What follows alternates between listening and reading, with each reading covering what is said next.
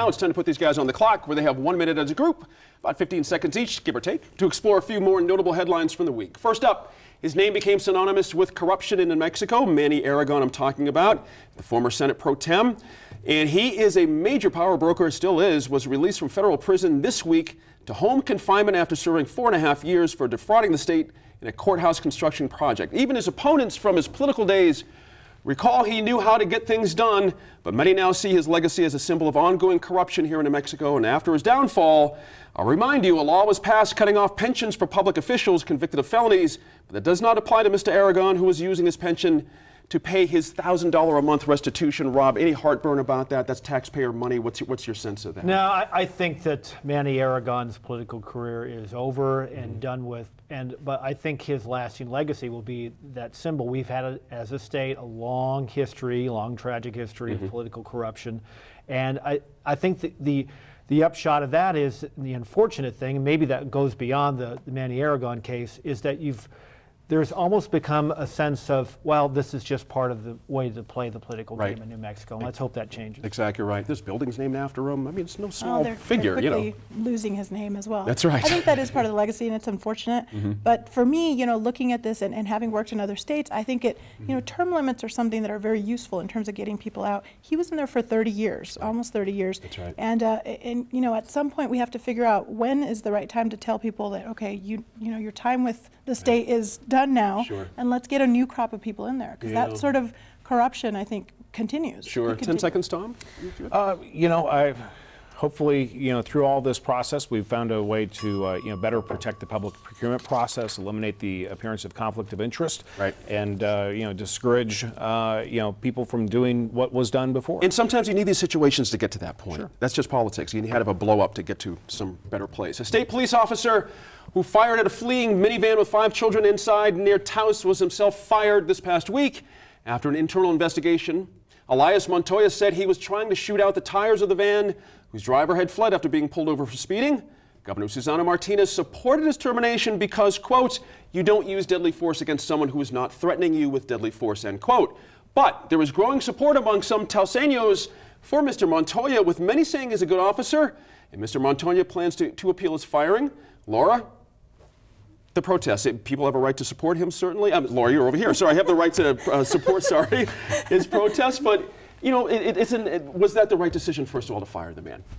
Um, I, I, personally don't believe that was the right decision. Okay. Why? Uh, mainly because I've watched the entire 45 minutes worth of um, the incident, mm -hmm. and there were several times when the driver had the opportunity to, mm -hmm. you know, to do the right thing and chose to not do the right thing. And I, well, let me ask you this: Is there a line where that the gun has to come out? I mean, just because she didn't do the right thing, does the gun have to come out? Well, I think that you know, uh, people are looking at deadly force as yeah. the gun. Uh, you know, a van full of people and a, a, whole lot of kids coming out and starting to attack an officer. Yeah. I mean, the whole thing was a mess. You don't know if they have a weapon or not. It was a big mess, and there could have been a lot of other points where the driver yeah. could have done something different. Antoinette, your sense of it?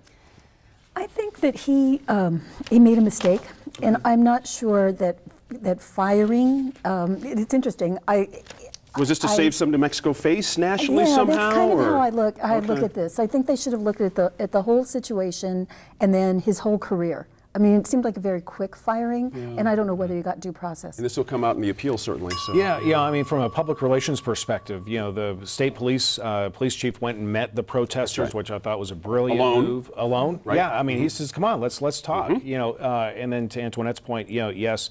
I think it was too quick a call. I mean, it was just like so fast. It was like so, wow, okay, cool. Let's get this out of the national spotlight as quickly as possible. Interesting there. Governor Susana Martinez campaigned on a promise to make government more transparent. But many media and open government advocates have criticized her administration for not being more open. Now, the Associated Press has filed suit against the governor and state agencies for refusing to release information about her work travel schedules, cell phone calls, and expenses of the security officers who travel with the governor. Antoinette Governor Martinez maintains her administration is the most transparent in state history, and the AP requests Reasonable in your view, unreasonable? Do we really need to know her travel schedule, or is this just really the AP just trying to do its job and the administration needs to figure this out as well? I, I think the problem is when the media asks you for something, you don't provide it. Right. They're always very suspicious that you're trying to hide something. That's right. So my advice to people is just provide it, and they'll go away. So I just don't understand this. That's a good point, Rob. Yeah, and You know, you ask. I mean, you know, right, and, and remember, um, there, there, there was a big flap about uh, the, when the governor's uh, husband w- went to Louisiana right. for a hunting trip. And and it, it took months and months, and there was all this speculation. And it turns out they did eventually turn it over.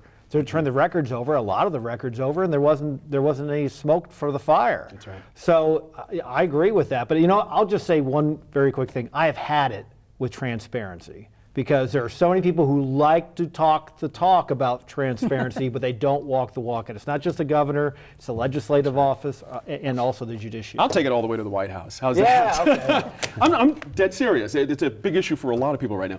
Your sense of this one, the AP, they're just trying to get uh, some some work done for constituents, for us New Uh, yeah, I mean, I think you can't say that you're the most transparent um, governor in the history and then at the same time withhold simple things like a schedule. Yeah, interesting. Tom, your sense of that one too?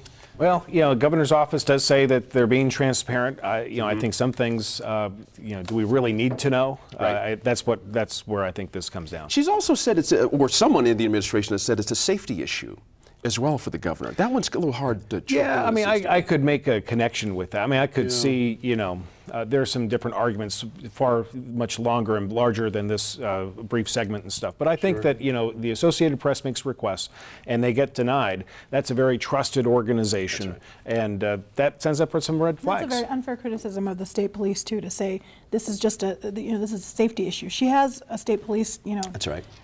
With her, basically right. yeah who's guarding her who's making sure. That's so right. you know they're professionals. They know what they're doing. Exactly right. Thank you all. Really good stuff here. Got some more on the web coming up too. Thank you all for your time too. As always, all of us here at New Mexico in Focus appreciate your time and your effort to stay informed and engaged. Catch up with us anytime on social media by searching New Mexico in Focus. And you can find archived interviews and lots of bonus material from our shows on our YouTube channel and at NewMexicoInFocus.org. I'm Gene Grant. We'll see you next week in Focus.